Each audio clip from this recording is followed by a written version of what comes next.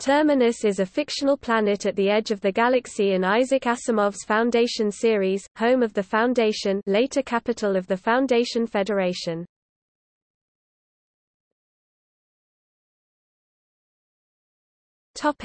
Geography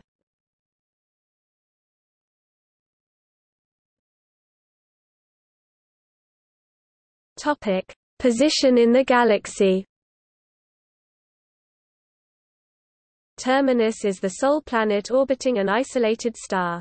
Its nearest inhabited neighbor is Anacreon, 8 parsecs 26 light-years away, and it lies approximately 10,000 parsecs from the capital of the First Galactic Empire, Trantor, near the galactic center.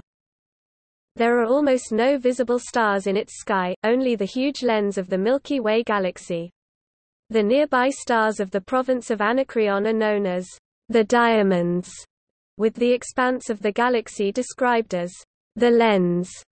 The ecliptic plane of Terminus appears to be near perpendicular to its orbit around the galactic nucleus, as the lens is visible in the night sky throughout its year, while the diamond's appearance appears to be seasonal.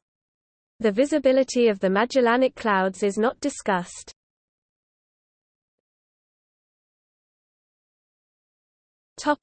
Planetary geography Terminus has a very high water-land ratio, with the capital, Terminus City, situated on the planet's only truly large island not quite a continent. The planetary ocean contains a total of approximately 10,000 inhabited islands. Terminus's climate is mild. Like all known habitable planets it has a nickel-iron core which produces a significant magnetic field, however, it has almost no metals in its surface rocks.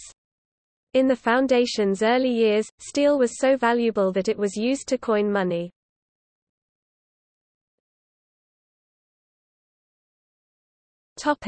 Biosphere. Prior to human occupation, a few lower forms of life existed on Terminus.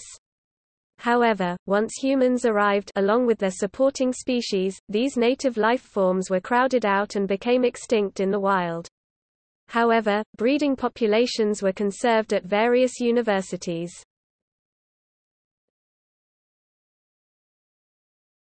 Topic: Cities.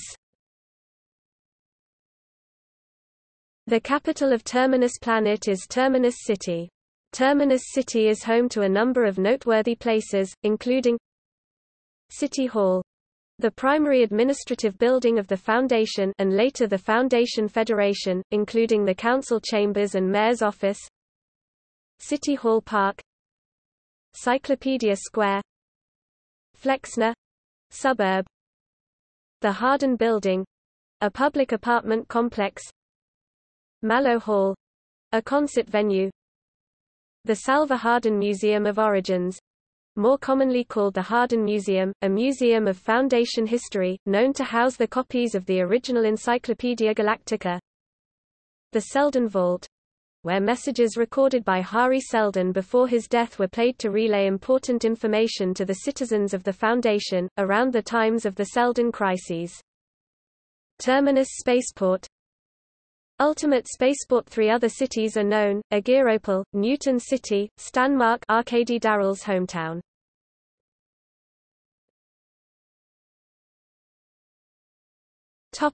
History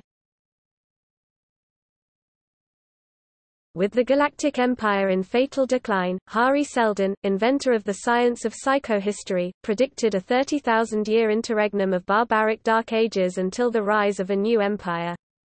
So Seldon created a plan to shorten this interregnum from 30,000 years to 1,000 years. Seldon asked Lasse Zenow, chief librarian of the Library of Trantor to undertake a search to find a suitable planet, according to Seldon's criteria. Zenow, following a lengthy search, found Terminus, which had been uninhabited through the five centuries after its discovery. Seldon manipulated the authoritarian Commission of Public Safety that ruled the empire to exile his project to Terminus. The founding population consisted of 100,000 especially healthy scientists, whose ostensible purpose was to publish an Encyclopaedia Galactica.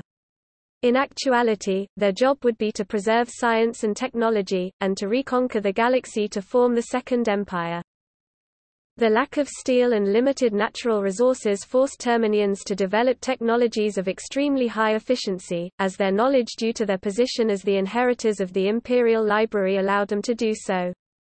The high technology and science of the Foundation became its crucial strength in early confrontations, first against far larger local kingdoms that had broken away from the weakening empire but drastically regressed to pre-atomic technology. And later, against powerful dictators with support from the dying core of the empire itself, who had similar scientific ability to the Foundation but far more cumbersome, inefficient technology, having always relied on colossal resources. Economically, at least for the first 500 years, they seem to have a massive surplus in labor.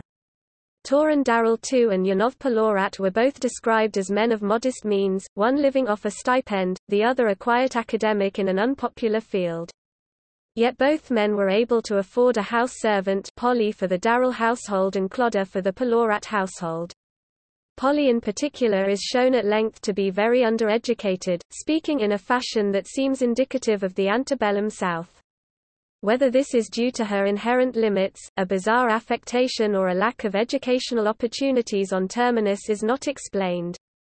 The labor-saving devices as described would seem to be the equal or more of 20th-century gadgets, and what the servants are supposed to do is not explained, though it describes them doing menial tasks such as setting out pre-made self-cooking dinners or opening doors. In the later Foundation books, primarily Foundation's Edge and Foundation and Earth, Terminus is well on its way to being the capital of the Second Galactic Empire, using its massive technological advantage.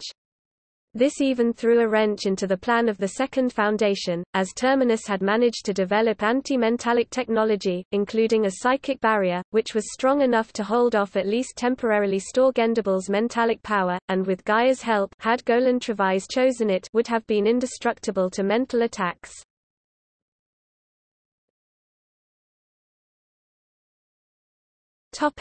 See also Foundation series. Trantor